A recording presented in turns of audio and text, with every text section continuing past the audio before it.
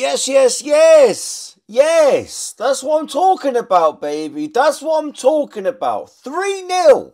3 0. We absolutely slapped Brighton yesterday, mate. I couldn't be more happy. I went into this game so. I wasn't. I was so apprehensive. You know, there was no optimism going into this. To be honest with you, pal, I just did not feel like we could get over the line after all of the heroics from Old Trafford, mate. I did not think that three points would be possible against Brighton. And my God, were we brilliant, mate. We were absolutely fantastic, mate. I couldn't I couldn't be more happy for the team. I couldn't be more happy for Marco. I don't know why Brighton just flooded everyone forward and were as open as anything that's open. I'm not going to be derogatory on this channel, mate, but it was an unbelievable performance. Evan Ferguson didn't have a shooting boots, and yes, we may have let him in a few times, mate. But as a whole, that was a textbook, phenomenal Fulham performance, mate. Shaggers Legends, please remember if you're new here, mate, do us a massive solid and subscribe just down below. Apologies for not uploading yesterday.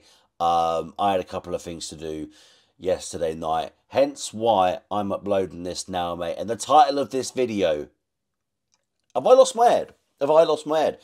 Is Rodrigo Muniz the new Aleksandar Mitrovic? I'm going to start off by saying that Muniz has proven me wrong, and I would like to apologise to Rodrigo Muniz. What is it? Five and five now. The kid is on another level, mate. From what I'm seeing right now, with him being 22 years old, what's to say that he couldn't be leading the line for Brazil in years to come? You know, the next World Cup, if Gabriel Jesus remains fit, why?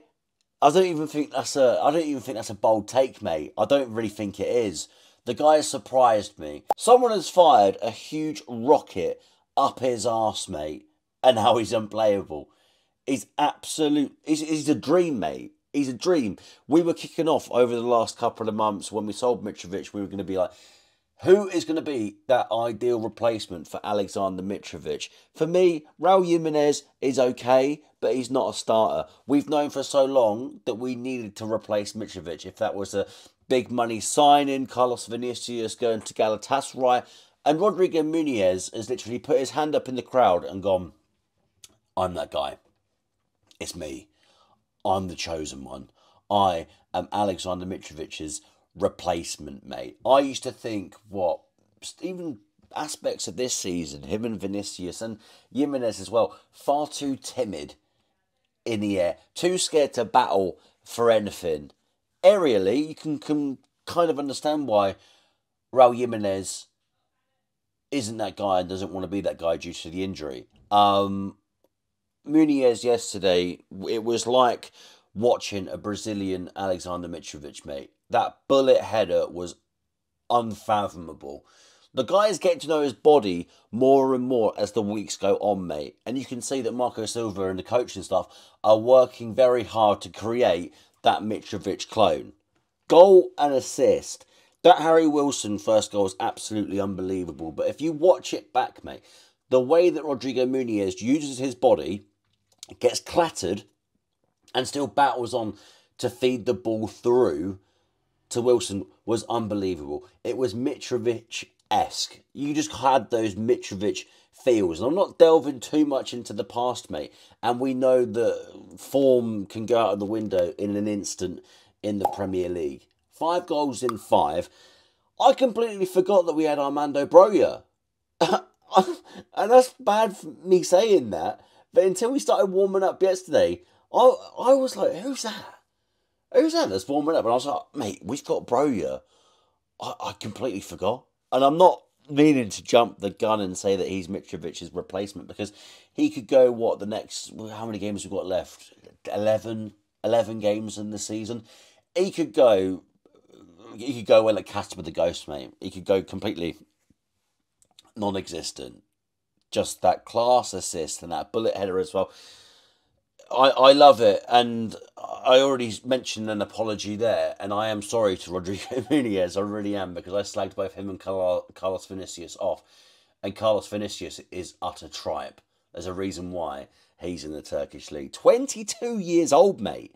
22 years old. Michael Carrick didn't fancy him at Boro. said he wasn't good enough. And now it's a different ball game, mate. It's a completely different ball game. Right, for the rest of the game yesterday, um, pure suffocation by Fulham.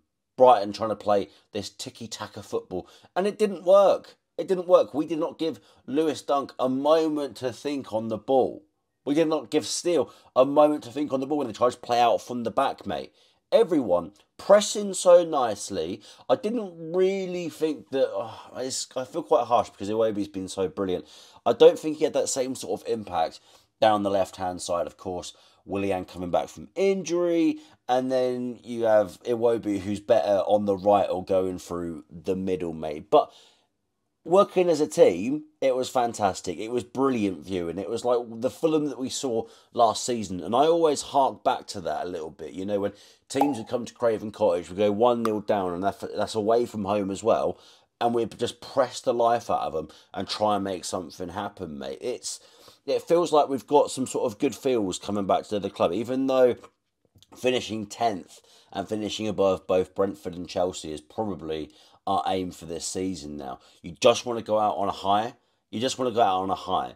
There were a few negatives yesterday, and I mean, we won 3 0, so I can't slag off anyone too much.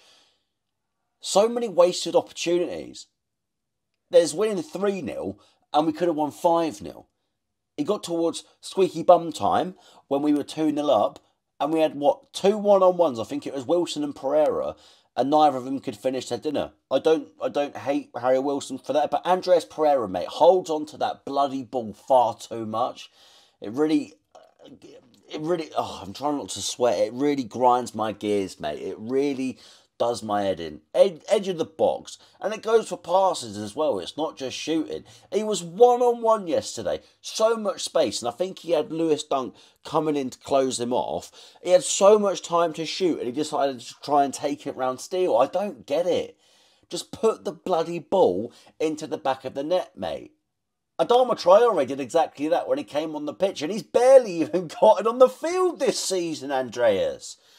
Jesus wept back yourself a little bit. Back yourself to make those crucial passes, which uh, you normally do, and you are an integral part for the opening goal. Or is it second goal? I can't remember, but he was there in the mix.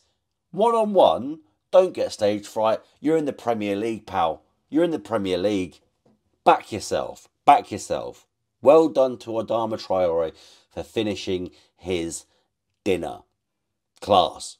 Brilliant. I want to say as well, I mentioned in the video last week when we beat Man United, no Palhinha, no problem. I thought Sasha Lukic was an absolute beast yesterday in that midfield, mate. I thought he was brilliant and everyone needs to wax lyrical about him. Thought exactly the same against Manchester United last weekend. And you know, there was those uh, reports sort of like coming into the beginning of 2024. Lukic wasn't really getting any game time, and he was there, there was speculation that he that he said there were rumours that he said he, he was bored sitting on Fulham's bench. And do you know what? He's not sulked whilst he's on the pitch. His body language has been phenomenal. His recoveries in the middle and pressing forwards as well to try and get us out of tricky situations. He's been unbelievable, mate. And I think now we're starting to see that class player come through.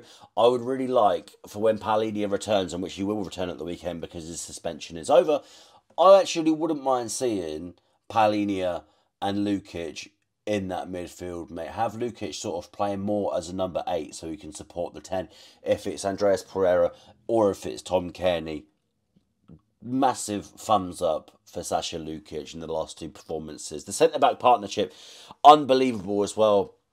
Since returning from AFCON, Calvin Bassey, class. He, mate, he, Evan Ferguson, man, he did not stand a chance. I know he missed a one on one, but Bassey for the majority of the game, I'd say 98% of the game, he pocketed Evan Ferguson so easily. I think Tosin and Bassey are unbelievable, mate. One of the most underrated centre back partnerships in the Premier League. This is the partnership now. This is the partnership going forwards. I I don't back Tim Ream playing left sided centre back. It's just I just don't think that that is a valid offer if if everyone's fit. I don't see Issa Diop getting back to the, getting back into that team as well.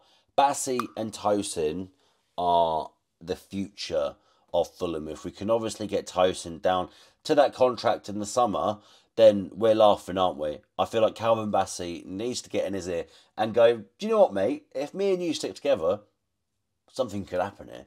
Something could really happen here. Last of all, I thought the ref was absolutely awful, to be honest with you. Um, so many challenges going amiss, and it's just it's just pathetic.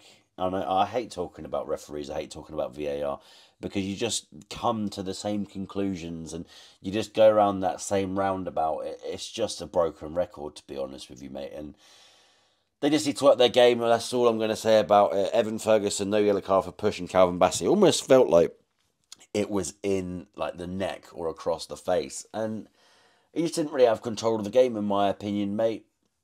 Roberto De Zerbi, what was the game plan yesterday? I really don't know. So open in that second half, and it easily could have been 5 0 to Fulham. Shame we can't finish our dinner, innit? Yeah, shame we can't finish our dinner. I wonder if he uh, left any VO5, you know, given the old hairdryer treatment in the dressing room afterwards, probably covered in uh, in gel. Yeah. the maddest haircut. I mean, I'm not going to rip on some of the haircut when I've got a forehead as big as this man, but it is so throwback to sort of like School Disco 2006. Busted at the top of the charts. Roberto De Zerbi's just got that spiky doing and has never let go of it, mate. Right, that's it. Um, enjoy the rest of your Sunday. Uh, good luck this week, whatever whatever you're doing. Um, we need a bit more positivity in the world, don't we? So all I want to say is you've got this. Please remember to like and subscribe just down below, mate. Drop us a like, leave us a comment. What did you think of the game? And I'll be back very soon. Fulham videos are back, baby. Fulham videos are back.